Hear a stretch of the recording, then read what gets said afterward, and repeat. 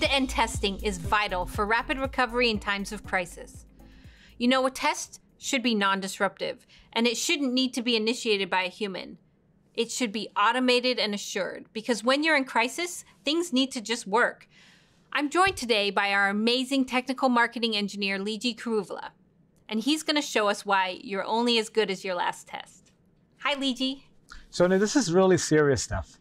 We strongly recommend organizations create a cybersecurity response plan, one that they can put into action if there is ever a suspected ransomware incident. This is not limited to one or two workloads or virtual machines. These are business service level plans. You want to be able to make sure you can recover multi-tier applications that have dependencies in a predictable manner so that the business can come back online. As the old adage goes, practice makes perfect. And there's no shortcuts to getting predictable results outside of executing a non-disruptive rehearsal operation. I'm going to show you how. In this video, I'd like to show how we can take a multi-tier business application, a virtual business service as we call it, and bring it online in an isolated environment at another site. Resiliency groups over here define the individual applications, whereas a virtual business service is a collection of resiliency groups with a relationship kind of like tier 0, tier 1, tier 2, and that allows us to define a workflow of how these applications can come online or go offline.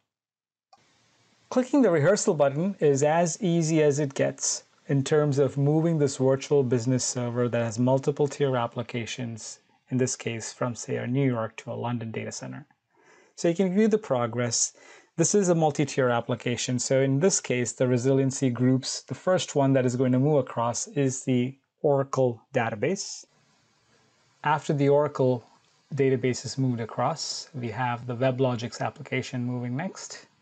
And then finally, we also have an Nginx load balancer application that is scheduled to move after that. Sonia, what we just did is pretty powerful stuff. We just took a multi-tier business application kind of like maybe an HR department, and just moved it from one location to another. With our resiliency plans, we can actually do this at scale. Using this visual editor, you can create a template that defines your runbook for restoring your business. For example, here, let's go and take a business service and can define the business service from a list of services that you're pre-configured. So here I'm choosing uh, the finance service that we have. You can choose the source and the location where you want to send it to. You can also inject some custom scripts that are part of your workflow into the process as well. So that makes tailored for you. Now, the beauty of all of this is this can be saved and then non-disruptively rehearsed into any environment that you want, whether it's to the cloud or whether it is into an isolated recovery environment. Our customers in regulated industries often ask us how they can easily meet their compliance obligations. Can NetBackup help with that?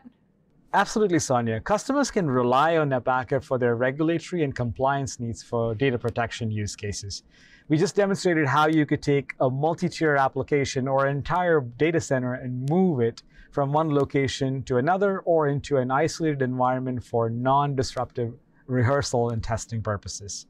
This whole operation can be scheduled, and that schedule can also be associated with a report that you can generate and hand over for compliance and audit purposes. That's how easy and incredible it is for customers. Great, Liji. Hey, thanks for spending time with us today. You know, it's vital to implement solutions that test to a non disruptive sandbox or isolated recovery environment. Remember, test early and test often.